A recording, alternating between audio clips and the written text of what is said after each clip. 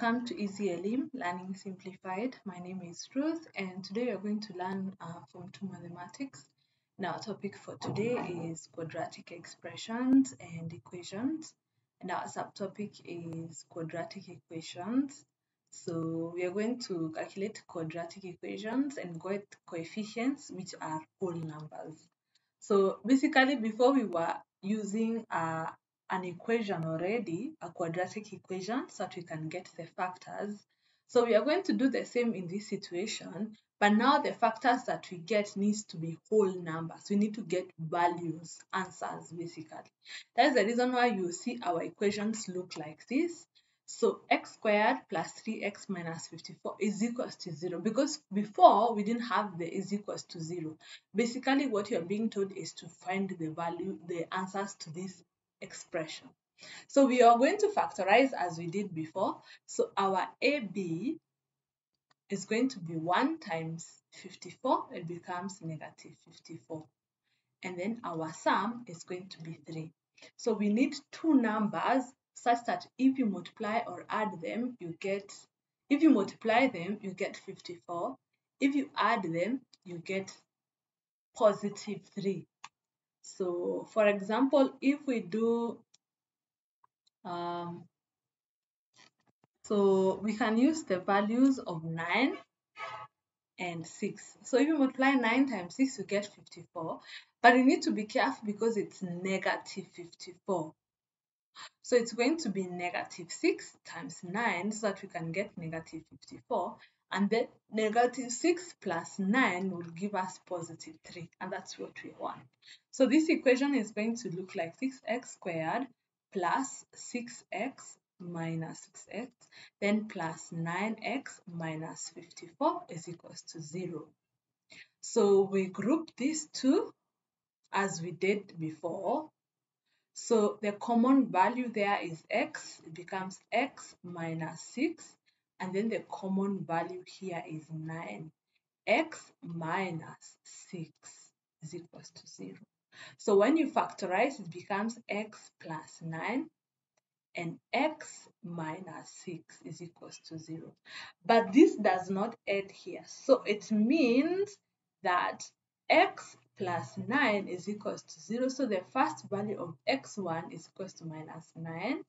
And then the other one is x minus 6 is equals to 0. So the second value is x is equals to 6. And that's how we have solved the equation. But now our values are whole numbers. All right, let's do another question so that you can see how we did that. So we have these two questions. Let's do one at a time. So we have x squared plus 6x plus 8 is equals to 0. So our AB is going to be 1 times 8, which is going to give us positive 8. And our B, the sum is positive 6. So we need two numbers. If you multiply them, you get 8. If you add them, you get 6. And these two numbers is 4 and 2. So 4 times 2 is 8. 4 plus 2 is 6. So we open this equation, so it becomes x squared plus 4x plus 2x plus 8 is equals to 0. So you group these two values and the common value here is x, so it's x plus 4 such that if you open this bracket you get this answer.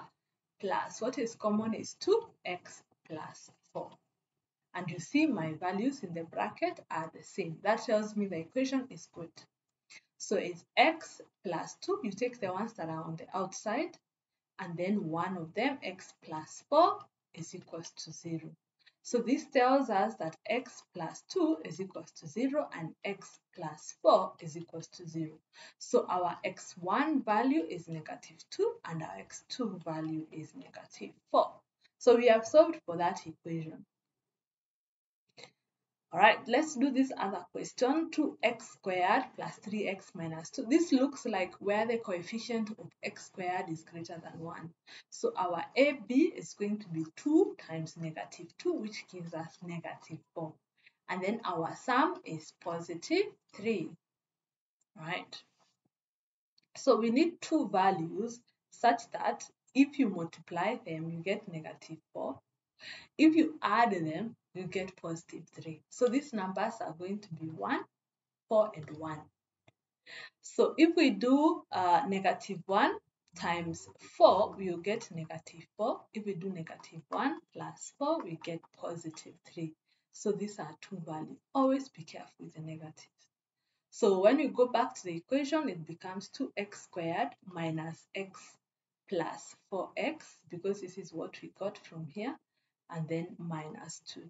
So you group this one and group. So what is common here is x to get 2x. Remember you get this if you open. Then minus 1. So that if you open you get this. What is common here is plus 2. You get x 2x minus 1 as well. So it's x plus 2 and 2x minus 1 is equals to 0. So you have x plus 2 is equals to 0 and 2x minus 1 is equals to 0. So this gives you our x1 as minus 2 if you take it the other side. And our x2 is going to be 1 over 2 because if you take this this side becomes 1 divide by 2 both sides becomes a half. So these are our answers. So let's do these questions and then now we'll be done uh, so 14x squared minus 16x plus 2. When you see such a question, you can make it to its simplest form because uh, they are all multiples of 2. So if you divide by 2 here, by 2, by 2, by 2, so you get 7x squared minus 8x plus 1 is equals to 0. So our AB is going to be 7 times 1 is 7 and our B is negative 8. So this means we are going to be working with 7 and 1 and specifically negative 7 times negative 1 which gives us positive 7. Negative 7 plus negative 1 gives us negative 8. So it's going to be 7x squared minus 7x minus x minus 8x plus 1.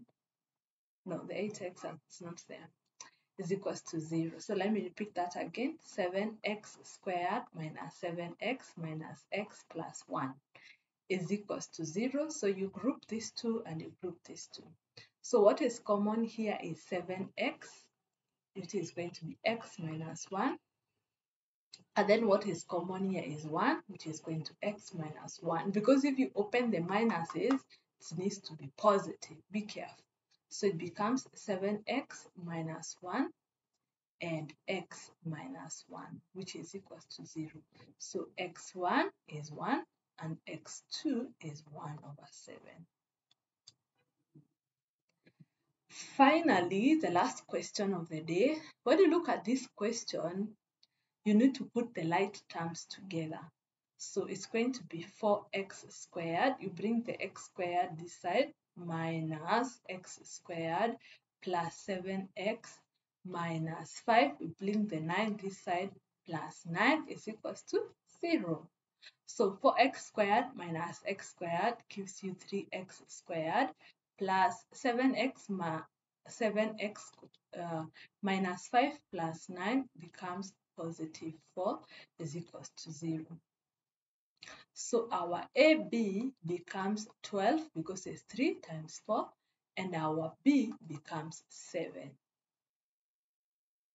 So our two values are going to be 4 and 3 because if we uh, multiply 4 times 3, we get 12. If we add 4 plus 3, we get 7. So this becomes 3x squared plus 4x or 3x plus 4x plus 4 is equals to 0. You group this and group this. So this becomes the common thing is 3x to bracket x plus 1. And then the common thing here is 4x plus 1. So you have 3x plus 4 and x plus 1 is equals to 0. So your x1 is equals to minus 1 if you take this this other side. And then your x2 will become minus 4 because you take minus 4 the other side, divide by 3. So that those are your answers.